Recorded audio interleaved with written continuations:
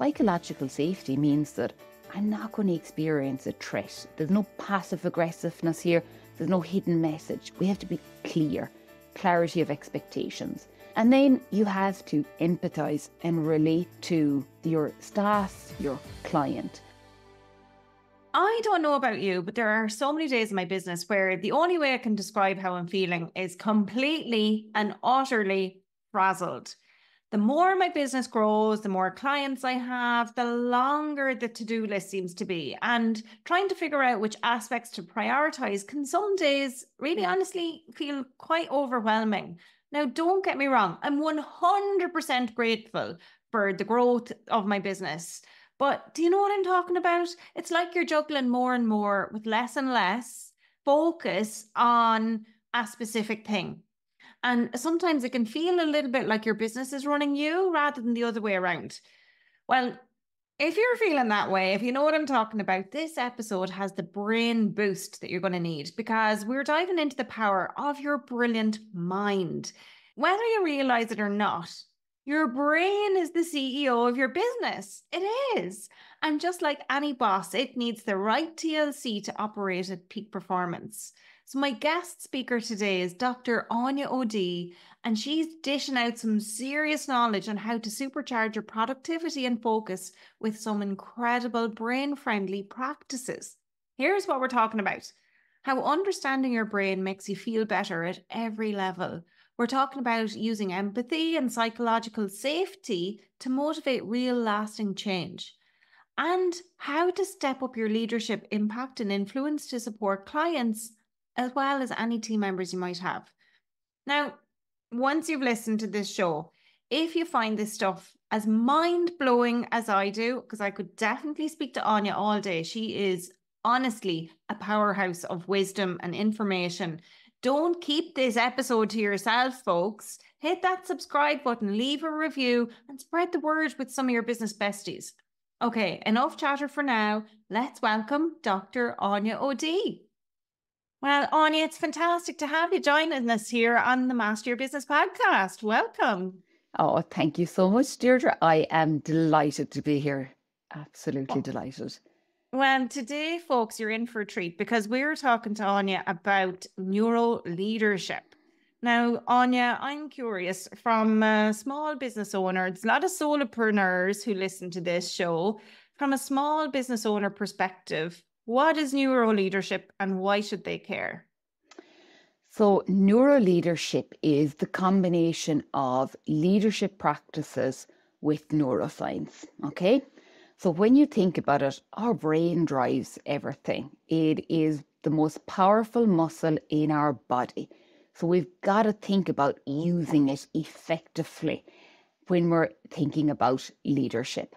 So, if you kind of pull back for a second and think, well, what is leadership? Leadership is that bit of that you have to exercise influence or power over others. Okay, you have that uh, that requirement of you when you're in a leadership role. It also requires that you have an impact on others and you make things happen. So leaders constantly throughout the day are exposed to that and that is their responsibility. They have to be thinking in that way so that they're collectively you know striving forward. Be it whether they're a solopreneur. If you are a solopreneur your exercise of influence and power is often with your customer with your client. And you need to have that influence in a positive way. So if you think that's what leadership is so we all are leaders whether we're a solopreneur whether we have maybe one employee or 50 employees. We're all leaders. We will just use it differently. And then when you think about the neuroscience, okay, so that is the piece that, like, in the last 20 years, there has been phenomenal development around understanding the human brain and how human behavior works. And then also the neurons in the brain. Like, we all know the phrase you know, neurons that wire together, fire together, you know. So now when you combine all of this, we can, our, this is where I help people and support them in coaching is that we can think about it much smarter, much more effectively, to use that influence and impact to make things happen easier, that it's a happier work environment, that we make better decisions, that we use our emotional intelligence effectively. So yeah, that's a that's a lot of talking there in the space of a minute or two. No, that's fantastic. I, I really love that. And I completely agree with you that everybody is a leader. I think so many mm. people don't recognize themselves as leaders, but I think whether you're a mom at home and you're cooking the dinner, you're leading with the kids, or if you're coaching kids playing football, you're a leader. But 100% agree, anybody in business, whether your title is manager, owner, founder, you're a leader if you're leading your clients. Absolutely. And you know, you've said it so nicely, Deirdre, even thinking outside of our work roles, we're leaders every day of the week. So to own that sense of influence and to know how to use it wisely, I think that's so powerful for people. Absolutely. And okay, so talk to me about the influence and impact piece. So I'm curious around that and and something that frightens me Áine actually and and this is why I want to bring this up straight off the bat, right? Mm-hmm. A little bit controversial, maybe provocative Áine. Go for it. I'm always talking about as well, let's say, in terms of neuromarketing and neuroscience around marketing, where you talk about empathy and emotions and that sort of stuff that that can be quite persuasive. And when people have that knowledge, that knowledge gives them power, but there's ethics around that power that's so fundamentally important to me. Like I have this moral compass around what's right and what's wrong. And with that influence and impact, that comes back to neuroscience. What does that look like, and how can leaders make sure that they're ethically right and they're not persuasive in the wrong way? Oh, Deirdre, you've tapped into a brilliant point there. Okay. So that piece around like a person centered approach. So that was kind of like in the 1950s, Carl Rogers really spoke to that and using empathy to understand the other person's perspective. So, be it that we talk about from a leadership perspective, from marketing, anything in our daily lives, if I listen to you and, I listen to you to understand your perspective and where you're coming from, if my ethics aren't in the right place, if I'm listening to understand how to truly just sell you something, my ethics are not really, or my values going to be that authentic, okay? And we've all been in that office with a manager where you walked in and you sat down and you had a great chat with them and they really listened to you. And then you walked out the door and you've agreed to do something and take on another project or role that you did not walk in the door expecting and you did not want to take on anything else. And you walk out the door and you feel manipulated, going, how, how did that just happen? How did I just do that? Because the person has just used one piece. They've used one piece of like the empathy. They've listened to us, they've related to us, they've understood our perspective, and they've kind of got us on board that we've now agreed to do something, okay? But does that mean that I will truly change my behavior? So, from a marketing perspective, I might buy once off from you that I probably won't feel great about it. Because underneath it, I'll be like, that wasn't authentic. Yeah, that actually, was just salesy. That yeah. was salesy, and I bought it, but I've no true connection back to you. I don't feel like that person really got me, so I won't be a return customer. Mm. In a mm. business, it's probably more that's a dodgy place to place all your energy on it because actually it is not going to help me to maintain sustained attention. In the moment, I might say yes, but changing behavior uh, involves much more than just empathy is a huge piece, psychological safety. That's like the environment we need to create. But if we rely just on that, we're not going to have behavior change. People are not going to actually do what we want them or need them to do. Yeah, I love that. And I'm so glad that you've said that as well, because it's always a fear that I have where if I teach people how to do this in this way, it can have influence and impact from a marketing perspective, but it's that they use it in the right way. So come back to the leadership piece and yep. how does that how does that look the influence and impact in terms of a leader leading clients or a leader leading people in their team? Talk to us about that. Okay so if i give you an example of a company that i would have worked with okay who were two years ago they had merged and they were looking at going to a solely based electronic data management system right okay for they were doing it for multiple reasons. One part of the business had been doing it for over 10 years. The other part of the business that they'd merged hadn't been. They'd been using paper files and a lot of paper based data. Okay. So they needed to bring both parts in alignment. Okay. A huge change there and ways of doing it. So, how do you introduce, how do you lead that level of change? We've just merged two businesses. And now, how do you bring along that change?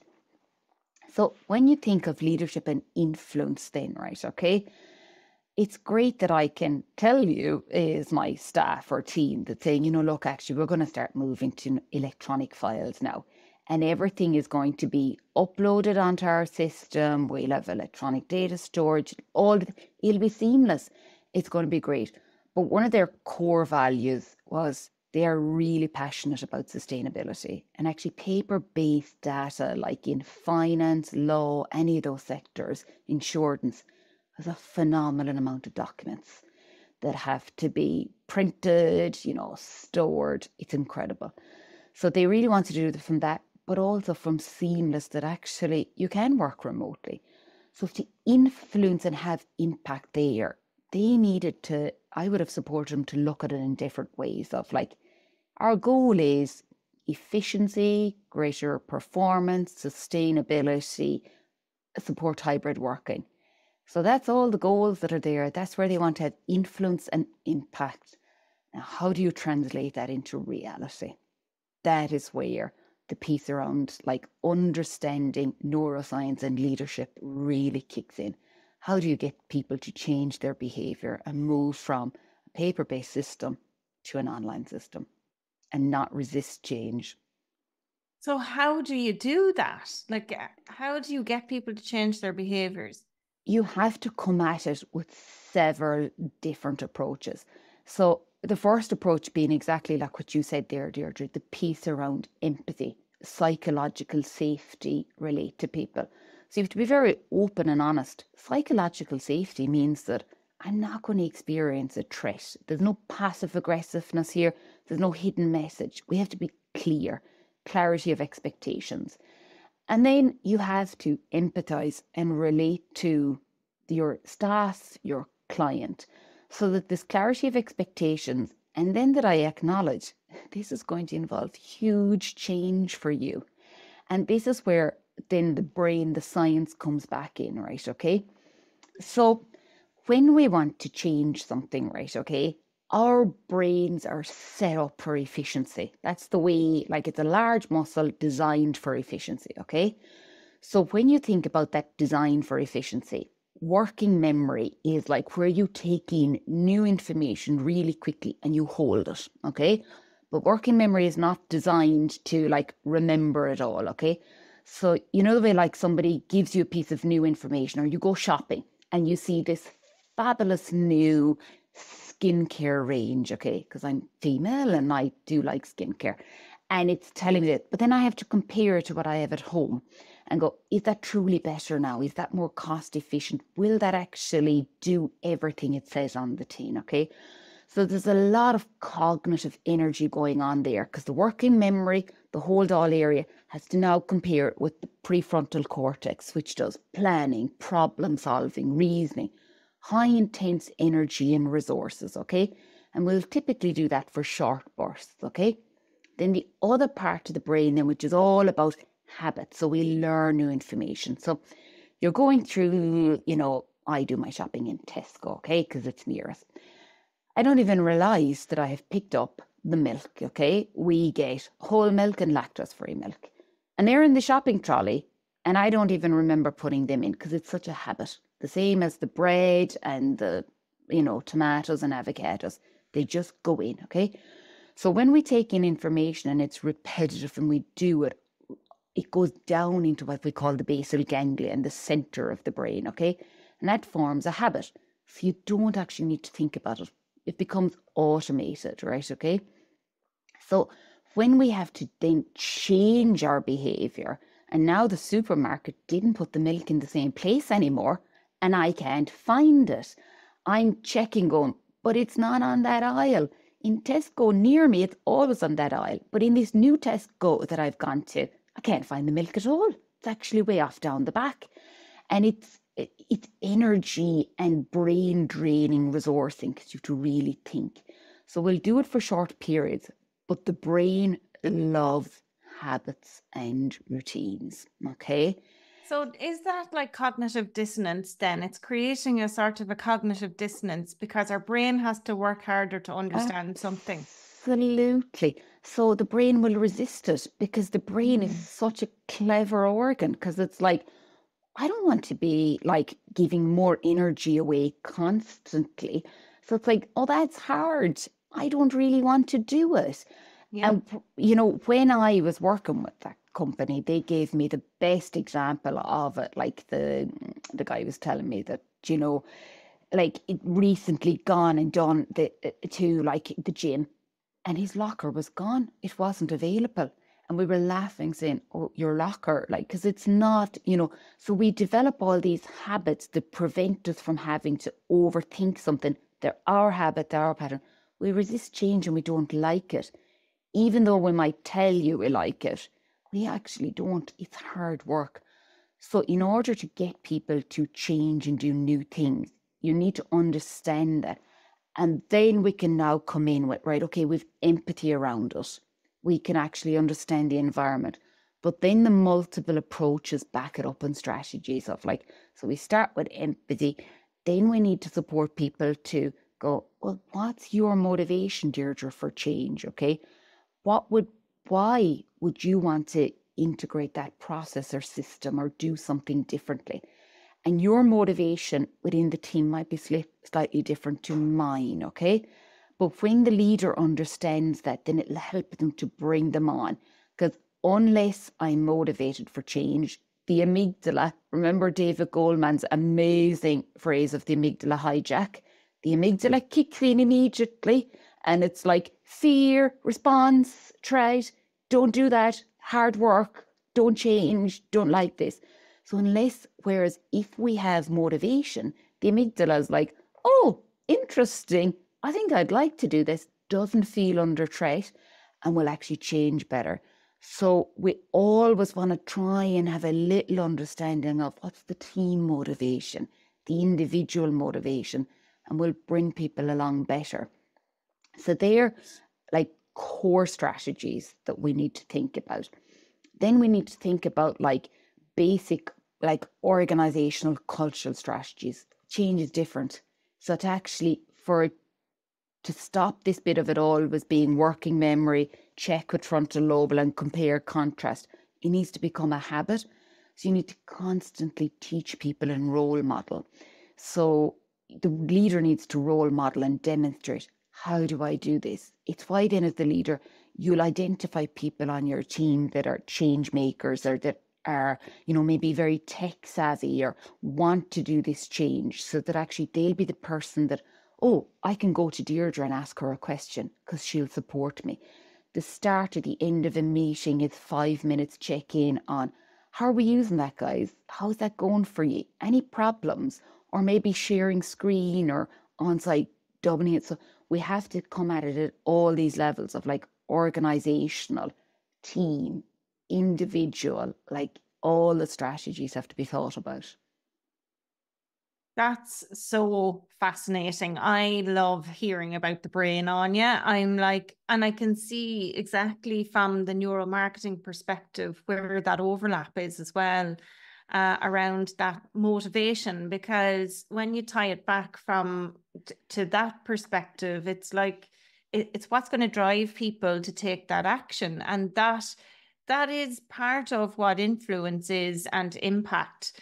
And I suppose if we were to take it back even another level, so I've recently had Louisa Meehan on from Woodview HRM and interviewed her about how to hire your first employee. So let's imagine, you know, you're you feel like a leader for the first time maybe in your business. Maybe you didn't realize you were a leader before and now you have an employee. Somebody that you want to contribute in a particular way. What are the sort of leadership styles that could work particularly well where it's, you know, maybe a hybrid working space, maybe you don't work together in the same space like how can somebody make sure that their influence and impact is effective, irrespective of what that looks like? That's such a good point.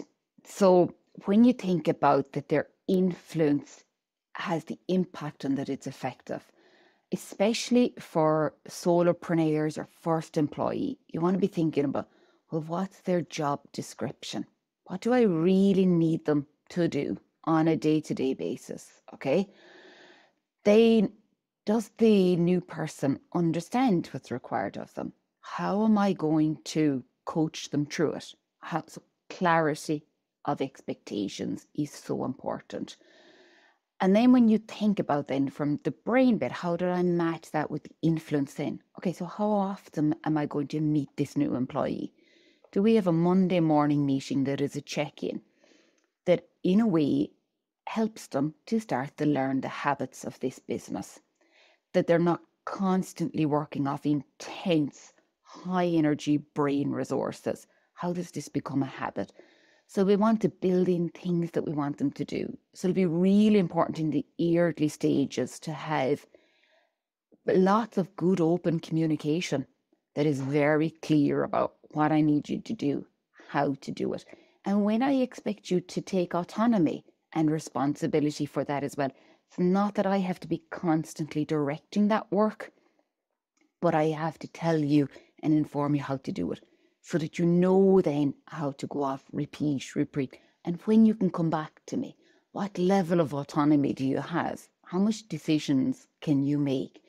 So it's really important to think about that bit of safety and clarity as like your intro level to have influence and impact.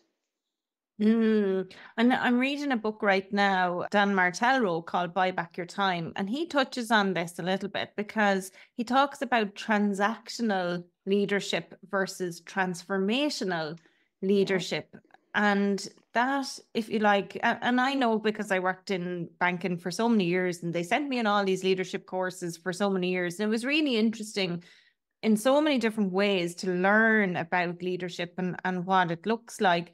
But I hadn't heard of this type of comparison, transactional, as in here's here's what needs to be done, go get it done, you're checking it off, and then it's the next thing to be done, versus transformational, which is more like this is what done looks like. Here's there's autonomy, go off and do whatever you want and come back to me when it's done. And then, you know, how could we do it better? So can you talk to us a bit around that? That's brilliant that is such a great example of neuro leadership coaching, right? Okay. Because the transactional is just the task based. Go do these list of tasks. Okay. Your transformative leader then is the one of here's what done looks like. So this is where we're tapping into the person's motivation, their when we figure out something ourselves, right, and we problem solve it ourselves, the brain gets this rush of adrenaline, right? They call it like the aha moment in coaching, like that new insight, okay? And we're delighted with ourselves that we've figured it out. And we think, oh, I'm great.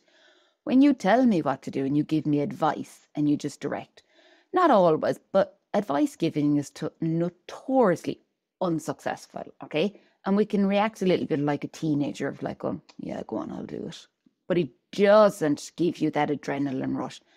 So transformational leaders will really tap into that bit of here's the outcome of what we need. And that's what it looked like. How are you going to go about it? What will help you to do that? what do you think is required of you. So now your employee is doing all of the problem solving. They're bringing a, a, eh, their own perspective and a fresh perspective to it. Versus, well, I always did it this way. I was the CEO and I did it this way, so do it that way. It gives no room for autonomy and innovative thinking and for the brain to feel inspired. So we always want to be going for that transformational rather than transactional. It's really interesting too, because from a strategic perspective, if we look for something to be created or done in a transactional way, we'll never innovate. Never. Never, innovate. Whereas if we take that transformational approach to leadership, to our businesses, there's a much greater chance that we'll be able to develop something that's never been done before. Totally. And Deirdre, even as you say that there, when we're employing people, we want to be looking and asking those kind of questions. We need different types of brains and that diversity in organizations, right? But that bit of cognitive flexibility. So people who are typically really good innovators are often highly cognitively flexible.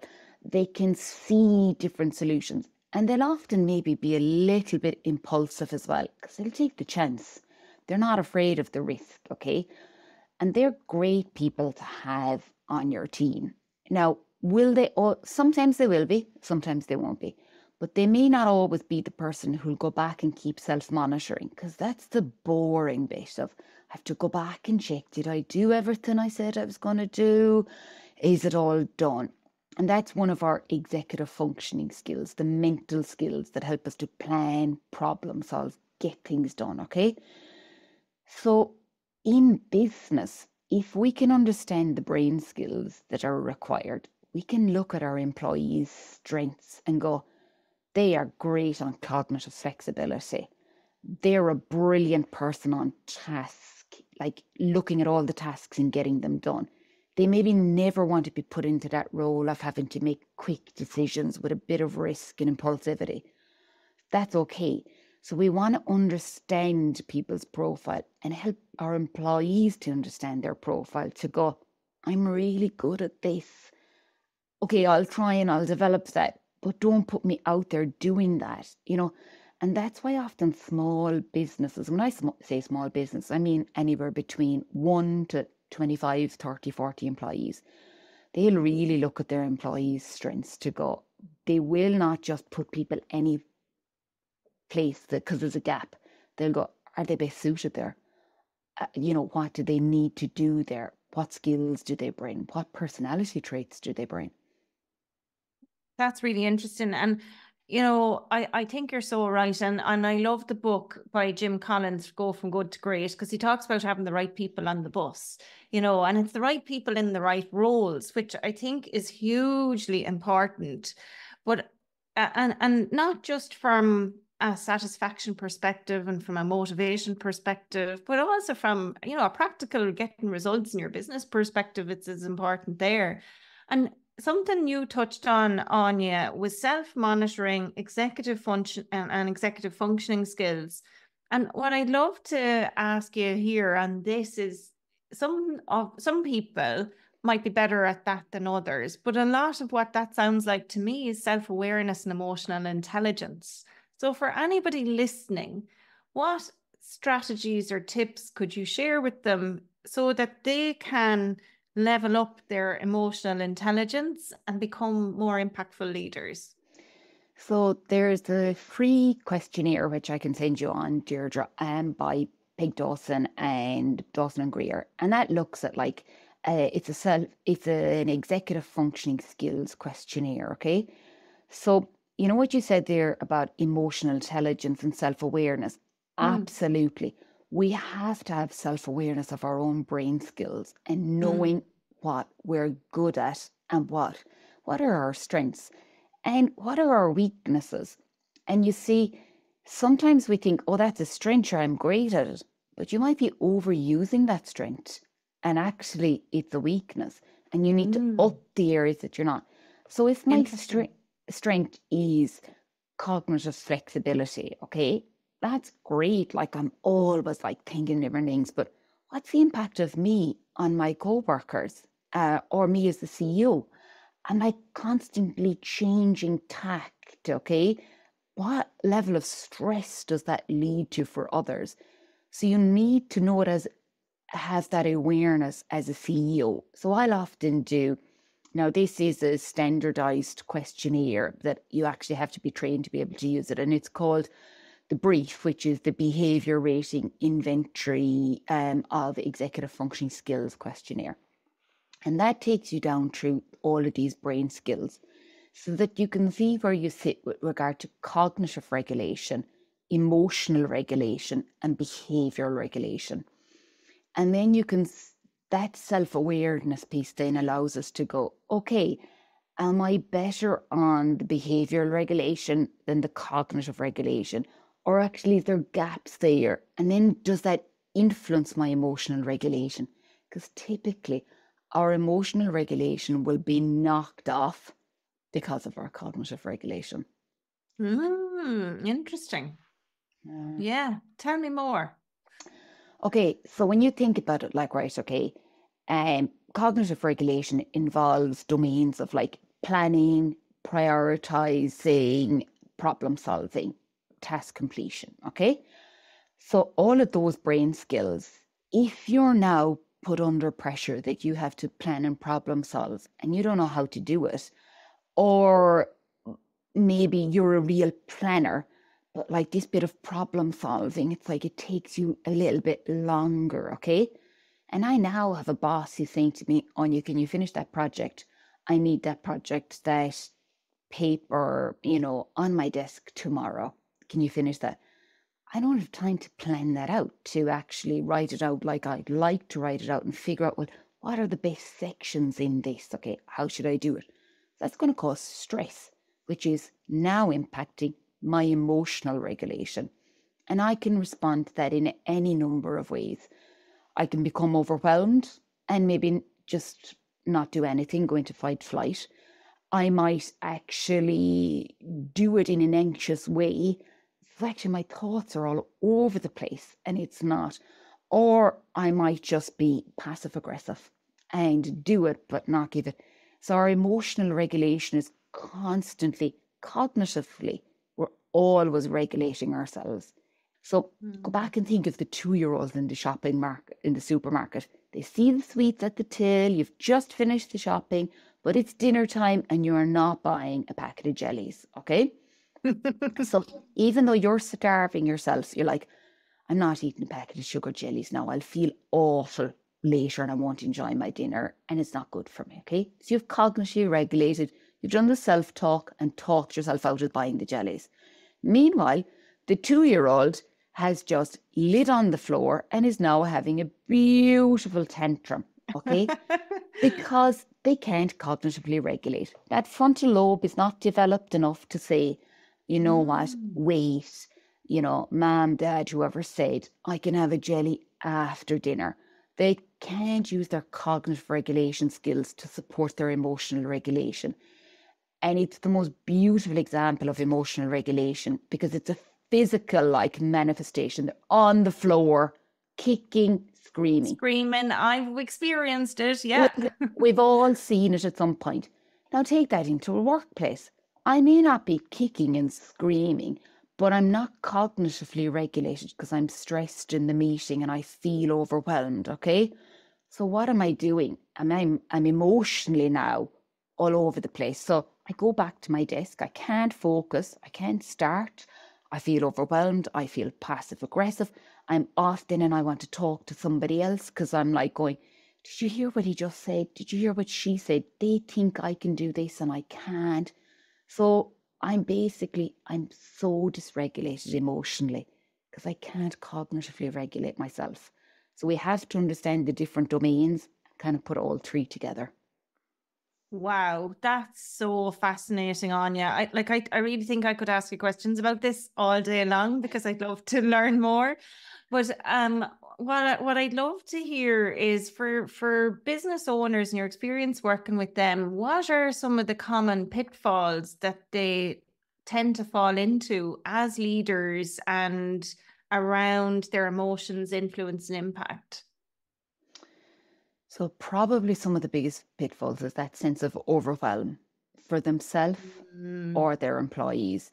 yeah. That, especially if they're on the cusp of growth, that they're thinking about taking somebody on and then they take somebody on and they're not sure what to hand over or how to hand it over. So, Yeah, been that there. yeah, that bit of knowing how to prioritize. And that is where it can be so helpful to, like, yeah, have a coach, but have a good peer mentor. Like, you know, tap into your local mentor net- networks. Like for women in business, you can access free mentoring via Network Ireland Mentor Group. The LEOs, they are all will have mentorship that you can tap into for free. So it's not all about the paid pieces. So how do you have a chance to to literally get that aha moment of like did you hear yourself talk about these are all the things I have to do, what I'm doing? How do you reduce the overwhelm and see actually I could hand that off? Okay. So that's one thing I would say to any business owners. Try and recognize are you feeling overwhelmed? If you are, how are you going to get support to change that perspective to Mm, reduce the sense of overwhelm? Then other things to really think about when you want to like introduce something new with your employees or for yourself. What is going to help my brain and business to sustain this change? mm, Because actually, I'll deviate back to my habits because they're well established. So, literally, try and mind map it out or, you know, do a prioritization piece of like what will bring me back to keeping this going at an individual level, team level, organization. So, see the outcome that you want, envisage it, and then map that of all the different things that will facilitate us and map out what will stop us and recognize it so that when you start doing what you are not supposed to doing, you now go, "Mm, I wasn't supposed to do that, but you're aware of it, okay? So map out the challenges, the pitfalls, the triggers, really know what you want to do and what you want to achieve. And I suppose the third piece then is compassion and empathy. Have compassion for yourself as the leader and recognize what, you know, that you can't be brilliant at everything and compassion for your employees that they too are human. So to bring that perspective with you. I love that. So overwhelm is a thing. And I think from an overwhelm perspective, something that I, I say to people often from from overwhelm is actually I I believe that some amount of overwhelm is good because it means that you're stretching yourself. You're moving beyond your comfort zone. What do you think? Absolutely. And if you read any of the research around this of stress, you know, there's such stress has become so like, you know, we normalized across like social media, okay? But you want to think of um like a little bit of overwhelmed stresses. They're good. Like we need stress. If you didn't have stress, you wouldn't get out of the bed in the morning. Because actually, you know, you just wouldn't like right, okay? So stress is good. It's when stress starts to tip and that bit of overwhelm starts to tip. Now it's becoming counterproductive, okay? And most leaders will thrive on stress because otherwise they're at the other end of the spectrum and they're bored. And a bored leader leader is not a productive leader. They now aren't getting anything done because actually they've too much time on their hands. They're way more effective when they're stressed. So it's that That's of interesting. Mm, like I'm sure Deirdre, like we all notice this in our own lives. Do you ever see the day where you've like hardly nothing to do and you do you do nothing? I don't have too many of those. I don't know if that's a good thing or a bad thing. Sometimes I wonder if I'm a busy fool, but actually, I think that comes back to your second point, which was prioritization. And I see now something I've started to do this year is I'll, I'll I find when I create a to-do list, I'm much more productive and I'm less reactive and more proactive. but I break my to do list into two categories. One is revenue generating activities, and the other is non revenue generating activities because we should all always be working on the revenue generating activities, right? Oh, I love this. I mean, this is just like, oh, I'm having a right, like, geeky moment. So, what you said there, like, you know, your to do list, okay? That now is your brain, like, optimizing its resources because it's now tapping into the planning and problem solving. So, you're planning out all the things I have to do. Now, you can go back and look at these two checklists and compare and contrast your problem solving, okay? Which one of these is going to generate income? which one of these is like if it's just me i love reading give me an old paper or book any day of the week to read is that going to generate immediate income no but my brain will deviate that way going oh but i need more knowledge and maybe i don't mm-hmm. know enough about this topic i better read a bit more mm-hmm. versus crack on do the job and now you're also prioritizing so you'll have that list you'll write them all out you look at them and then because you now can see it with better clarity, you go, oh, actually, I need to do the last thing on the list and not the first thing. So you're really tapping into your executive functioning skills, You're planning, problem solving, prioritizing. And that to do list helps you to self monitor. Did I do the things I said I was going to do? Did I finish them? Okay. And that's why ultimately to do lists are so helpful. And it really helps us to understand why we have to use them versus being, you know, directed or dictated that we do it. Oh, great. That's good. I'm on I'm doing the right thing. You're thing. on a winner. You're on a winner. But it stops you as well using up like brain energy because otherwise what we're doing is we're task switching too often. And mm-hmm. when you task switch, then the brain never gets time to really pay attention and focus. And you're just draining the battery. It's like yeah. you'd never drive and constantly keep changing gears you yeah. because you'd be like, this is so bad for the engine. I'm using up so much fuel. And we task switch constantly. You know, I take a break, go down, make a cup of tea, but oh, I look at social media. You know, yes. like that is not a break. You've just task switched. Like, you know, oh, I'm reading this piece. Oh, I'll just go and answer that email because my email is open and binged in. It's like, actually, we need to focus on tasks and do them and finish them rather than thinking, the brain cannot multitask, but it can task switch and it just takes more energy. Yeah, that's right. And I've heard from a leadership perspective as well. If people interrupt you or if you st- if you switch tasks, it takes up to 17 minutes to get your focus back to the task that you're originally working on. Yep. And that actually is the lowest level, Deirdre, from that paper that found that, okay? The that's like the person who's most efficient, okay, their brain, okay. Wow. But it can take anything up to two hours, okay. And they looked at that like so they got people to read a paper, okay. And then there was three different eh, like cohort groups of people. So one group were reading the paper, they had to answer the questions right on it, okay. And they did it. Then the second group, where they were reading the paper and then they had to answer the questions in the exam uh, as if it was an exam, right? And they were interrupted by text messages that they just had to read but not respond to. And then the third group had to like read the paper, answer their questions. Text messages came in and they had to respond to them. And they were the ones that we were seeing that were taking up to two hours. And wow. when you think about how often does an email bing through and you go, I'll just reply to that quickly if we really knew the cost that was making, we'd be like, turn that email off, close it, and yes. open it when you've finished that other job. It's so important. And actually, it's interesting when I do master classes and things online. That's one of the things I tell people a bit of housekeeping here, turn off all your mm. notifications, mm. stay focused, stay with me. And actually, there's an app that I've used for social media, one of my business mentors put me onto, and it's called Opal.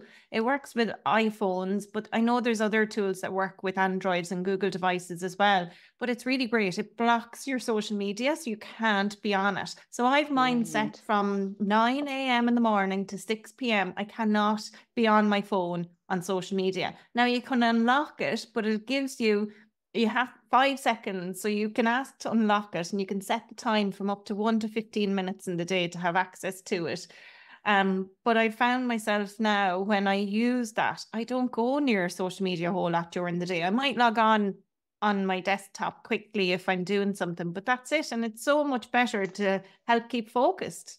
Because they've really tapped into that brain science piece of like going, you recognize the barrier. So the barrier is that I might want to and I might try and, you know, do a default around it. And they're letting you, they're not saying you can't. But what it's doing is when you have to pause and take that five to 15 seconds to think about it, now you have to think about the consequences. And you're like going, oh, yeah, I said I wasn't going to do this, that this might happen, that I'd want to go and just stop it, stop on you. Don't do it. You know, so in a way, that bit of knowing the barriers is so important because actually, when they come up, there's a much higher chance that we won't do it. Like you'll mm. back away from it. Yeah, it's great. I find myself now I don't do it. And even when I'm on my lunch break now, or if I'm taking a break, I don't go near my phone, which is fantastic. It's really it's good because it's in those moments then that clarity and creativity arise because I'm not distracted by social media. And Áine, last point you touched on was compassion for yourself. Let's not finish up without talking about this one because I actually think this is probably the biggest of the three. Because I know as a business owner and as a mom who's responsible for kids and ed- college education funds and and mortgages and all of those things that yeah. there's a lot of responsibility that comes with being a business owner and it's not easy. It's a freaking roller coaster and some months you can have great months and other months things don't go so well. And you know it's not just the finance stuff. It could be team it can be deliverables not working out it could be customer maybe not terribly happy or not getting the results that you want them to get. And sometimes you know you can be really hard on yourself so, how or what suggestions do you have for people in terms of a couple of quick things they can do to to really stop that maybe negative inner self talk and getting them, you know, thinking positively, looking at how can they be nicer to themselves about these things? Yeah. So there's a couple of different ways. The first bit is being aware of it, right? So when we're talking to ourselves and it's not nice, then stopping ourselves and going, would I talk to anybody else like this? Okay. Would I actually speak to my friend who also has a business in that way? So it helps us to check in and kind of nearly counteract that negative self talk. Okay. That's tip one of going, if this was, if I was talking to Marie, if I was talking to Damien, what would I say to him? Okay. And often that's a much more gentle, realistic bit. Okay. So try and do it as if, how would I coach somebody else? But you're ultimately coaching yourself. Then you want to think this is the bit about individualized recommendations. Okay. So what works for me, Deirdre, might work for you. So I'm somebody that needs exercise. Okay.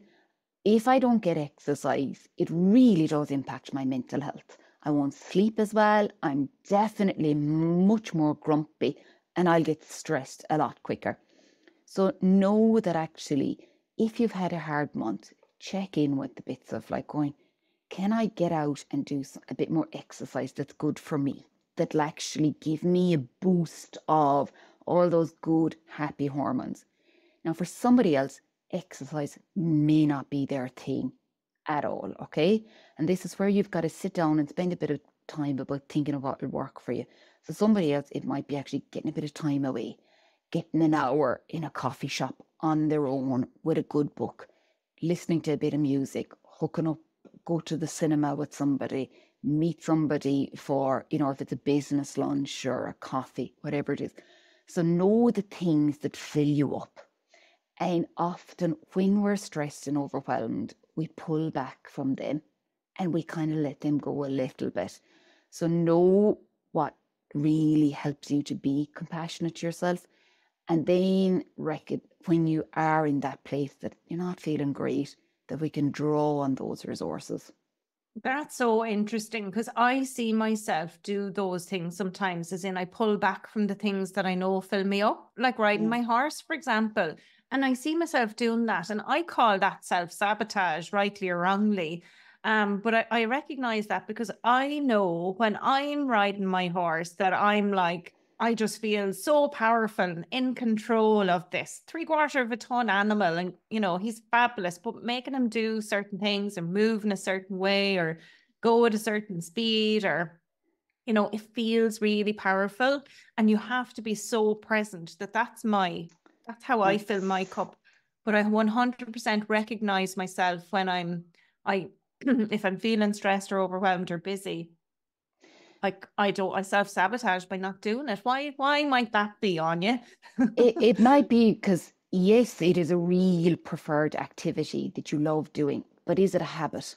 Like, do you ha- do it every single day? Do you No. have it? You see, so when Mm. it's not a habit, then it, the brain has to think about it, and it needs more Mm. energy. And if I'm stressed and feeling really crap about the week I've had, it's harder for the brain to now initiate new things because it needs a bit of energy. You have to get yourself together. I was talking to somebody recently and they said to me that they'd had a heart condition years ago and they ha- were told very clearly, you need to walk every day. So this Mhm. person told me, was telling me, like, oh yeah, that she now goes for a walk every single day. Every single day she'll get out for a walk because she has to, but she's been doing it for 20 years. Wow. And when she told me this, I was like, uh, my reaction was the same. It's like, wow. I was like, that is incredible. Because she was telling me about like how she has so many ideas and like, but they're all when she's out for a walk. They're Mhm. not, but it's a habit. And for many of us, we we don't have that self-care habit. And self-care is not about like buying something for yourself. It's about the pragmatics of mental fitness. You will become much more self-compassionate when you're engaged in something that brings joy, like being mm. on your horse, like painting, like exercising, because the brain is no longer thinking about all those negative things. It's focusing its energy on the activity of Mhm. horse riding, walking, exercising, talking, whatever it is. And distraction is a real, like, distraction is a key form of emotional regulation. Mm, it's interesting. And one of the reasons that I'm reading that book, Buy Back Your Time, right now is so that I can create habits that help me regulate my time so I can create a habit where I have time to ride my horse.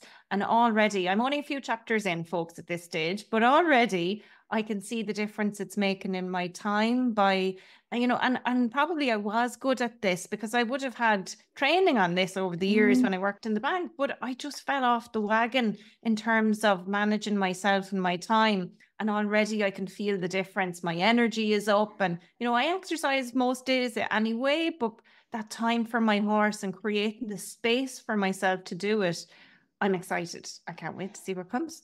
And Deirdre, it's so true. We'll all fall off the wagon, like in another few months, in two years' time. But it's how do we pull ourselves back on again? Mm, mm. Mm. Áine, you are so knowledgeable and Mm. informative, and I could honestly ask you questions all day, but we need to wrap up the conversation. So, any final thoughts or tidbits you'd like to share with anyone? I think it's that bit of like, whether, as you said at the start, that you're a mom, a solopreneur, a CEO, try and think about going about it in a brain friendly way. Use your influence for yourself, the impact that you want in your life, and try and do that in a brain friendly way. So, thinking about how you plan, problem solve, prioritize, em- regulate your emotions physically and mentally, and that'll help you to do the things that you need to do and get them done. Love it. Love it. Love it. Love it. Áine, I'm going to share that questionnaire that you mentioned in the show notes so people can check it out and it'll be um, over on the, the blog as well. And also, I will share links so that if anybody wants to reach out to Áine, that they can find you by your website and social media. And Áine, you work with Radiance Consulting. That Radiance Consulting. company. Absolutely. and th- who are the types of clients that you work with, Áine? mainly leaders who are new to a leadership role and feeling maybe a little bit overwhelmed, stress, or people who are well established in business and they need to introduce change. They're going for growth and transform, and also leaders who want to get a new perspective into what they're doing and why they're doing it, and to get the best out of themselves and their team. Fantastic. Well, Áine, it's been an absolute hoot and pleasure having you on the show. Ah. Thank you so much. Likewise. Thank you so much, Deirdre. It's been a great, great chat. Thank you. Whoa, that was a bit of a mind bender, wasn't it? So, so interesting to learn about our brains. And Áine dropped so many actionable nuggets to help us regain control of our brains. And that means that we regain control over our businesses as well. And I thought it was really interesting too how so much of the neuro leadership stuff ties in with a lot of the neuro marketing stuff that I talk about as well. And it's all connected when you're showing up online with your social media stuff, you know, taking that neuro leadership approach and putting yourself into your client's shoes, really being empathic, it helps you create messaging that's going to land so much better as well. So, Áine mentioned that there is a questionnaire available. You will be able to find that in the show notes and on the blog. So, go to the show notes, check it out, and have a look at that executive functioning skills questionnaire and see how you come out. It's going to be so interesting. I can't wait to do it. And remember, you ambitious entrepreneur, your brain is the ultimate powerhouse. When you fuel it right and give it the space to shine, you're going to be amazed at what you can accomplish. So I'd love to hear what is your biggest takeaway from this episode and how are you going to put some of this amazing science into action for yourself and your business. Tell me, share your thoughts over on LinkedIn or on Instagram and tag me on your post. I'd love to hear what you thought. And as I said earlier, if you enjoyed this chat as much as I did, give the show a rating, leave a review, and tell your entrepreneurial besties all about it. Either way, until next time, keep mastering your business. Bye for now.